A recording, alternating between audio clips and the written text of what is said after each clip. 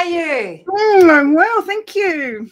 It's so good to see you, Rose. Oh, I'm so excited. It's Tuesday. It's my favorite day of the week. It's the day that we do the Healing Through Love show. So, welcome to the Healing Through Love show. We're here today to increase awareness within the community about providing family and domestic violence survivors with a soft place to land. And uh, and Rose, you've got some information to share with us today. Mm, as well as the Healing Through Love show, sorry, we hold annual pamper Days for survivors in South Australia and Tasmania, where local businesses paid forward to give our survivors a much deserved day of joy.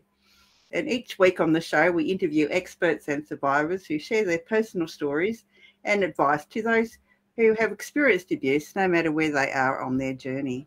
Yeah, it's so important. So today we've got a very special guest with us, and Rose is going to nick off and go do some things behind the scene. Thanks, Rose. She won't be far away because she'll be joining us back again towards the end where we've got information to share with you about what's happening next with healing through love. And and if you see the show today and you're excited and you've got something to share, we'd love to have you along as a guest. So reach out to Healing Through Love. We're always looking to share information with new people. Now today we've got a very special guest, a, a personal friend of mine, in fact, Tammy Horton depression, anxiety, worthlessness, self loathing, wounds that are visible, are invisible to others, not a mark or a bruise in sight trapped in a cycle of saying, it's not that bad, and minimizing your behavior, to wanting to be treated with kindness and respect and needing to get out.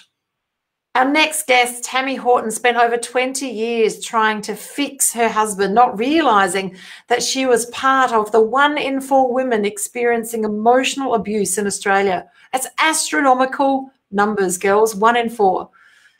In 2013, Tammy packed her car and, she, and all that she had, including her two youngest children, and she got out. And she's here today to tell you that she's risen from the ashes. She is the phoenix and now helps others to move forward in their place. Hi, Tammy, how are you? Tammy, we can't hear you. So we'll just get Tammy to fix her sound. And I'm pretty excited because I'd love Tammy to actually start today to talk with us about about her story because I really believe that's how we connect by sharing our story, sharing our wounds. Don't you believe that, Tammy? Tammy, I still can't hear you. So we'll just get Tammy to fix that. And girls, if you're listening today and you've got a challenge and you've been through something, you know, we do find that sharing your story with other people is the thing that begins the healing journey. So, you know, start with having those conversations. Is there someone that you can trust that you can have a conversation with? You know, a cup of tea and just a bit of a sit down. It starts, that's how it starts the healing process. Hi, Tammy. I don't know. I can you hear you now? Yes, we can hear you now, Tammy. Tammy, I was just saying it'd be great if you could just expand on your story and tell us a little bit about, you know, what happened and, and how you got out. Okay. So, um, yeah, so well, the introduction kind of says that I was in a relationship where I was trying to fix my husband, um, and now ex-husband, of course, and he has now passed away that now. So I kind of still didn't need to respect his memory because um, he is the, the dad of my kids. But um, a, a, lot of years of emotional, psychological, financial abuse. Um, I was the sole income earner, earning a fair amount of money, but I only ever got $100 a fortnight. That was my spending money. And even then, I had to, you know, explain what I did with the $100. So many things went on. I my struggled with my mental health a lot. Um, have done ever since I was a teenager. Um, but being in that relationship just made things worse. Having kids and postnatal depression, a few other bits and pieces. Um, but I got to a point in 2013 where I was um, feeling like I was sliding into a black hole again, and I didn't want to be there anymore. And um, someone at work you know, I was talking with them about some struggles that they were having in their relationship, and we got talking. And you know, he said, "Well, you know, you're you're an amazing woman. You're you know, you're smart, you're intelligent, you're funny. You know, you don't need to be in this relationship anymore." And it, it that was kind of a little bit of a wake up call. That oh, hang on, someone's noticed. me and I can't go back to where I had been before because I've been suicidal on multiple occasions. So I wasn't going back there again. So I had to get out. Um, unfortunately, I, you know, being me, I gave my partner forewarning that I was leaving. I said I was going to leave at the end of the year, um, which of course escalated his behavior. Um, which made it even more imperative that I had to get out because it was through that process that I really realized that I'd become very broken and I wasn't the person that I was born to be or wanted to be anymore. And in order to be a role model for my three girls, I had to get out and do something different. So I did. I packed up my car as if it was a normal day for me going to work, taking the kids to school, but I'd been packing stuff in and I reversed out of the driveway after, you know, him trying to get him out of the way of me, of course. But, you know, I left and Luckily, my mum had an empty house that I could go and stay at. Otherwise, I would have been homeless. And I've kind of rebirthed from there since 2013.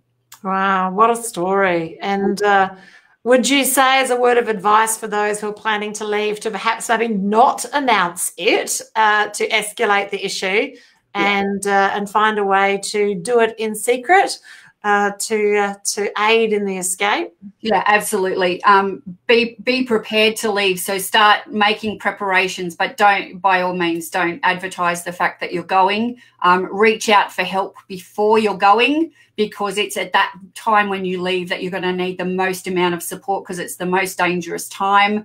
So make sure you've got those plans in place before you leave so that you've got as much support as possible to get you through um, if you can, you know, secret away some money that so that you've got something to start with, line up somewhere where you can go and stay, all that type of thing. Work out what it is you want to take with you.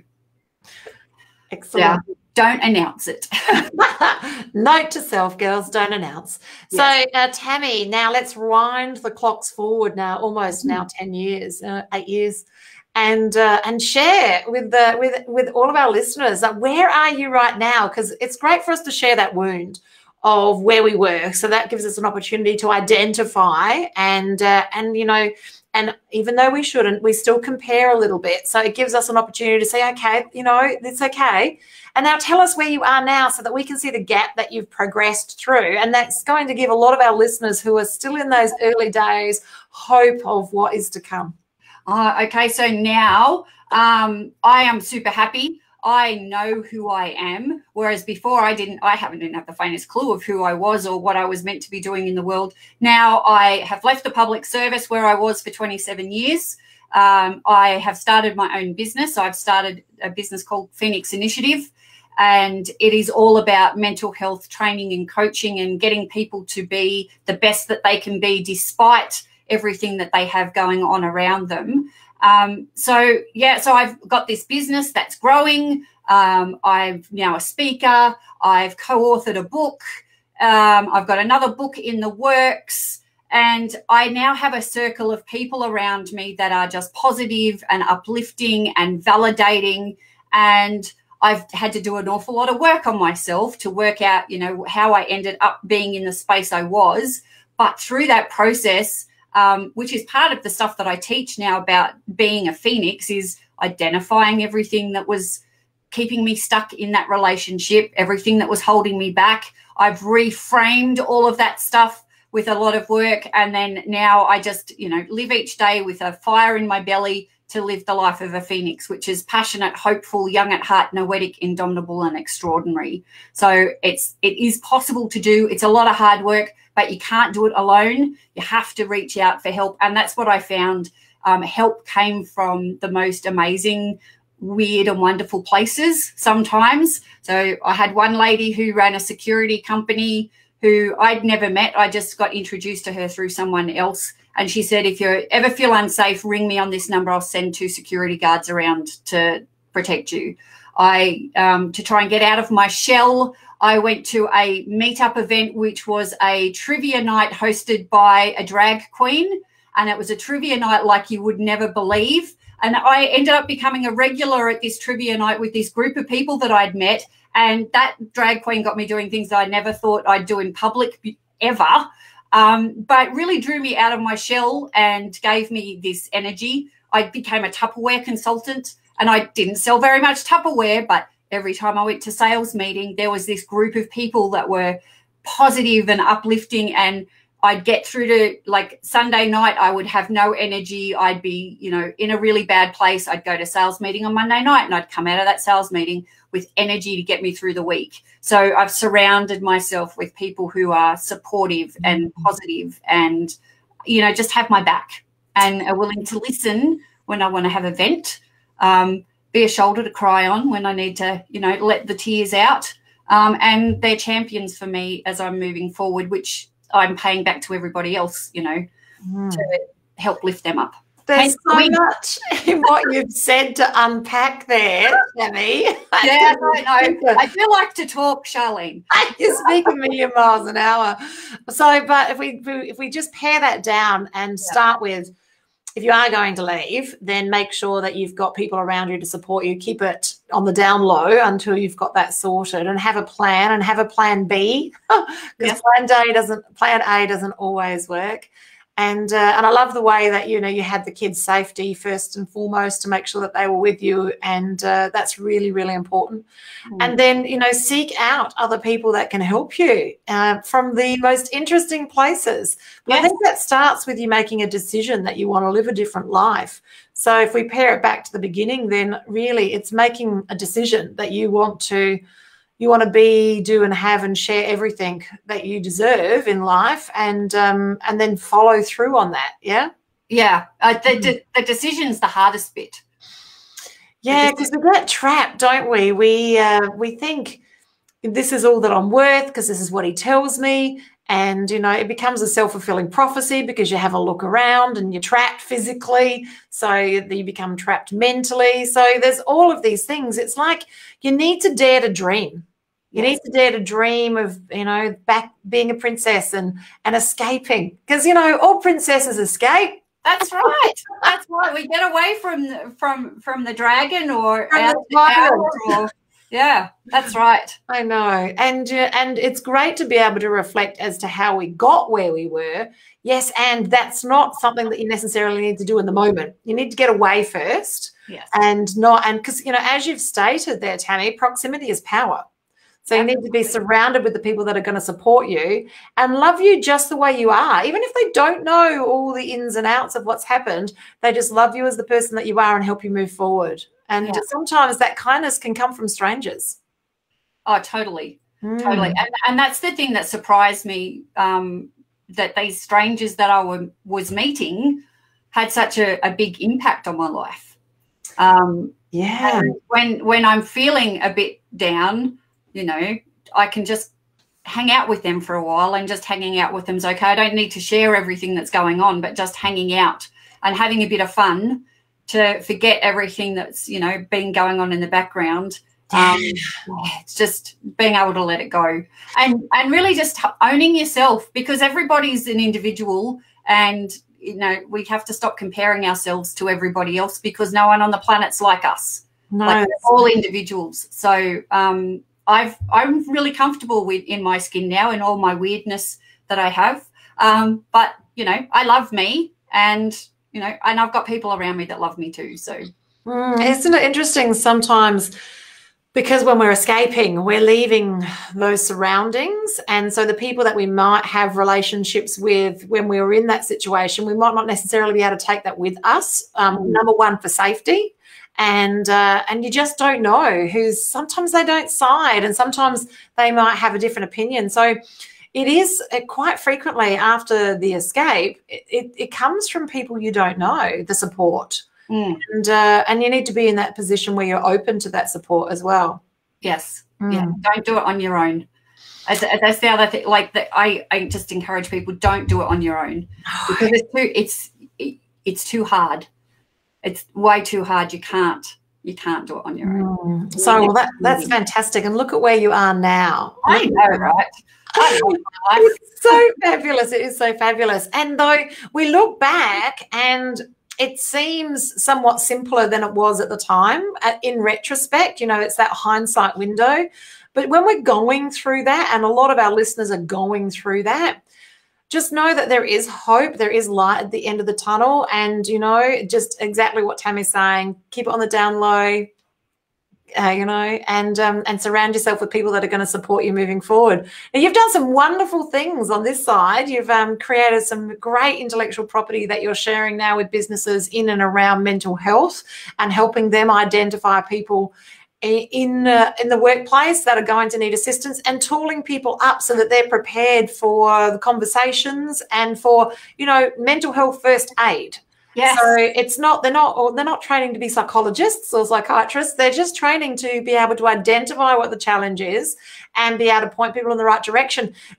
have you got a little bit of a time that you can maybe share with us a little bit about that? Because yeah. most of our listeners will be really interested. Yeah. So um, a like everybody knows about physical first aid. You know, just about everybody I know has done a physical first aid course at some point. You know, if you're a parent, you've got to do physical first aid on your kids whether it's a band-aid or you know broken arms um, but not too many people think of mental health first aid and so just like the physical first aid there's an action plan that you can follow but it's being able to we give people the skills to be able to sit and have a conversation with someone when we notice things are not right. And hopefully we're intervening early um, when there are just there are some problems with someone's mental health not necessarily that they've got a diagnosis or if they've got a diagnosis and they're having a period of being unwell that they've got support and also if they're in crisis as well. So it's very much teaching people how to listen and communicate non-judgmentally um, having access to information that they can then pass on to people um, letting them know like most times it's just being an ear for people and giving people support and validating what they're going through but then also encouraging them to go and get that professional help. And it and it could it's the appropriate professional help. So it could be a gp or a psychologist or a psychiatrist but in the case of people with domestic violence it could be the most appropriate professional is a domestic violence crisis accommodation service because you need somewhere to stay you know and that's the distress that's being caused for you right now so we talk about all of that stuff and then what can we do for ourselves? So the other supports, so that's the self-help stuff, online exercise, diet, meditation, connecting with community groups, support groups, supportive family and friends, um, and making connections that way. So it takes people through those skills to be able to support someone else, to notice it, have the conversation. Um, and when you notice people are in crisis, if they're in a really bad place, so, for example, if they if someone was saying that they want to end it all or they want to just go to sleep and never wake up, that would be indications that they might be thinking about suicide. So we teach people how to ask the question, are you having thoughts of suicide and what to do if they say yes. Mm, so, so, so relevant. Yeah. I mean, yes. so relevant. Yeah. So, yes, you've been on a uh, fascinating journey to get to where you are now. And now you're in an opportunity where you can pay it forward and make a difference for others. I'm excited about your new book that is in pre production. Are you allowed to tell us a little bit about the book? Yeah. So, the, the book, it will be called uh, Set Yourself on Fire how, the quest to find your inner phoenix because everything's about the phoenix with me. Um, and I do spell things differently. So I don't literally mean people to go and set themselves on fire, but it's set yourself. So the soul that's embodied in your life form on fire and it's spelled P H I R E. So it's a little bit of a my journey. So how I how I've become what I term myself now as the original phoenix. Um, how I did my journey, and then taking people through what it means to be a phoenix in in my regard. So I've already said it's passionate, hopeful, young at heart, noetic, indomitable, and extraordinary. And then taking people through the framework to get there. So building the pyre that you're going to burn away. So that's all that pain, shame, indignity, regret stuff. Um, reframing that with some fuel. So taking back your power, um, becoming your own hero, unearthing any skills, talents, strengths energizing yourself with good food, sleep, and nutrition, um, and then using a language that's positive and uplifting. And then you're setting fire to all of that stuff with a purpose that's true to the heart, set intentions, take some risks and face your fears, and then enjoy the process to then rise up as the phoenix. And it's iterative. So it's a circular thing. So it doesn't have to be used when everything's going completely wrong. You could, it could just be, I'm having a really crap week this week. How can I use that Phoenix process to change the energy that's happening this week. Mm. So that's kind of what the book will be about. Um, and then there's be programs, coaching programs, and retreats and stuff that will flow on from that event. Oh, sounds fantastic, Tammy. And our listeners love they love tangible techniques and tangible tools that can make a difference for them. Is there something from the book or your program that you could share with our listeners today that's a tangible thing they can walk away with that can help them move forward and set themselves on fire? Yeah, absolutely. So one of the things that I do is um, the becoming your own hero part. So you can get a piece of paper and just draw it into four piece four quadrants and in the top corner i want you you can i want you to describe what you're going to look like in 10 years time.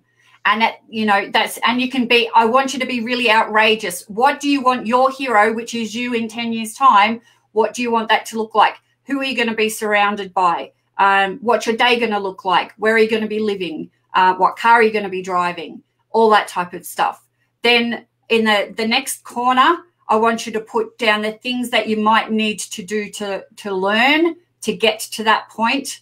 Um, the bottom, bottom corner is what would a day look like for you in that space? And then, oh, do you know what? I can't even remember what I put in the fourth one. Oh, that's really bad. I've had so much stuff going through my brain. Let's just use three for the moment. So, and then on the back, then you turn that piece of paper over and then you write down what's the steps that you're going to do to go to get to where you, you want to be. So if 10 years is too big a, a time frame, which quite often it is, what do you want your life to look like in a month? Absolutely. You know, it's that's a very similar process to that I use to get from where I was to where I am. Yeah. And it does, it starts with lists about what you want your life to look like. And yeah. then, you know, the reality of where you really are and what needs to change and then that series of implementing the quick wins and focusing on the pattern and taking massive action. I love it, Tammy. Yeah. You know what? There is only one truth, and uh, and it's beautiful. I feel that you're a sister light worker, oh, and, yeah. and that we're here to raise the frequency of the planet. And albeit one heart at a time, that's okay. That's why we've both become professional speakers so that we can stand in an auditorium and uh, share the good news with lots of people at the same time. It's yes. so exciting. Yes. So you've got um, you've got one book out, and that was a collaborative book. That's yeah. So I'll I'll hold up. So that's this one, which is called Garden of Love. So if you would like a signed copy, you can um, let me know, and otherwise you can get it on Amazon as a, a ebook and all, all, the proceeds from the ebook go to a charity in India to help um, children over there. Excellent. That's fantastic. And you've also got a special offer that you're offering our listeners today. Could you take us through the offering and the special price point that you're offering for our listeners today? Yes, absolutely. So, part of the process that I do to take people through this Phoenix process is to do a resilience assessment to see where people are sitting in the moment because resilience is not something you're born with. You develop it as you grow as a child um, with all that stuff that you do when you learn to eat and walk. And uh, so as adults, we forget that we need to keep working on our resilience skills. So I can do an assessment and do a debrief, which was normally $250. But for the listeners today, I'm going to do that for $100. And what that will, the report will show you how resilient you are across six domains of resilience whether you're trending towards being more resilient or less resilient. And then we can go through the process of identifying what are some steps, some quick wins to build up those the resilient skills that actually need some work. So that's the offer today. And if people send an email through to me at info at phoenixinitiative.com.au, then I can sort them out with a link to the to do the resilience assessment. So Phoenix is P H Y N I X. Excellent. And I do believe uh, Rose has popped that on the screen and also we'll put it in the body of the information today. And also, thanks, Rose. She's amazing. She's so quick. Rose, you're like everywhere. she's like octopusy. Yes. She's everywhere. So she's uh, also going to pop that in the feed underneath as well. Lovely. So resilience assessment, which is normally 250, you can pick it up today for $100. And to find out where you are and what you need to move, it is important. It's not something you can't Google the answer. You can't YouTube the answer. You need to go through a process that's been that someone else has done themselves and got themselves where they need to be. Someone who's a trained professional and knows what they're talking about that can assist you move forward and to make the difference. So that, thank you so much, Tammy, for reaching out and letting us share that beautiful offer with the listeners today. Hey. It's, late, um, it's amazing. Now, when do you think the book will be in release, just so that we can tell our listeners? Oh, um, I've set lots of deadlines, um, but life life's been getting in the way. I'm I'm hoping it will be released around about April next year. Oh, that's fantastic. Yeah. That's excellent. Excellent. Yeah. Fantastic. I'm so excited. Now, you're based in ACT, is that right? I am. I am. And I'm- so, if you've uh, if you really want a little bit extra of Tammy, um, I know that she runs the Speakers Tribe in uh, ACT. So they're always looking for people who want to come along and learn how to speak publicly and master communication for influence. So I know that she's always looking for additional people to come along and join the clan. And it is true that proximity is power, isn't that right? Absolutely, absolutely. It's That's so how I got introduced to you, Charlene. it is about proximity. And we were so blessed. Tammy and I shared the stage together um, for a TEDx presentation, which was, my gosh, was that February last year already? Yes. That's like a lifetime ago. how, how, how, Seems like ten years, but how, Yeah. how things have just, you know, time does expand for us. That's all I say every day. And it's so true. It's so true. Tammy, thank you so much for jumping on today and sharing your beautiful story and being in our proximity for the Healing Through Love show and sharing with our listeners how to move from where they are to where they want to be using your fabulous frameworks and sharing your beautiful resilience tool and also talking about your book. Thank you, Tammy. We look forward to sharing this space with you again soon. it's been an absolute pleasure.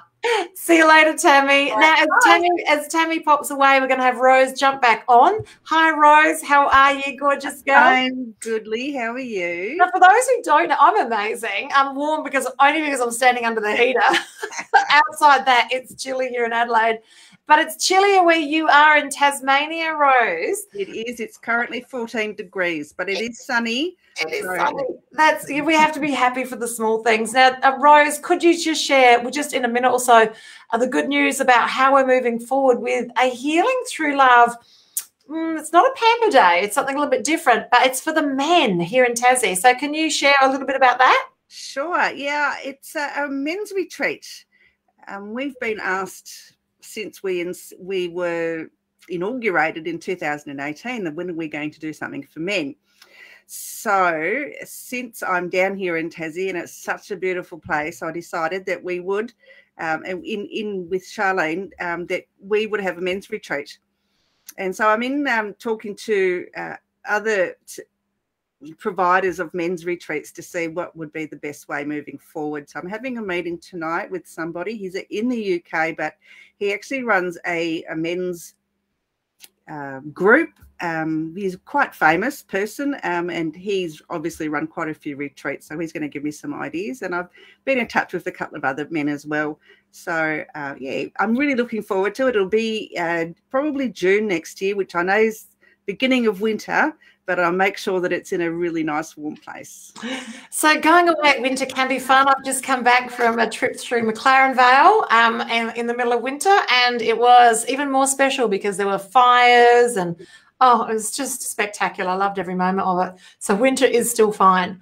We've got our local one in Adelaide coming up in May next year, and in the meantime, we're preparing pamper pamper packs for those who are escaping the challenges of family and domestic violence, and those packages are handed to the girls as they leave. So, uh, if you are in a position to help and pay it forward, if you've got um, items or if you know of some surplus of stuff that we can put in the pamper packs, please reach out to us. Let us know. You can contact us on Healing Through Love. Uh, we're on Facebook. we're pretty much everywhere, Rose, are we not? uh, yes, you, uh, our email address is um, hello at htlaustralia.org And um, yeah, so you can uh, email us there and just put pamper, pamper packs in the in the subject line, or you can go to our website, which is um, h www.htlaustralia.org. Excellent, fantastic. And we have got some amazing guests coming up in the next couple of months, guys. If you would like to put your hand up and be interviewed in this space, make sure that you reach out to Rose or myself and we can send you the details. As always, it's a privilege and pleasure. See you later, guys.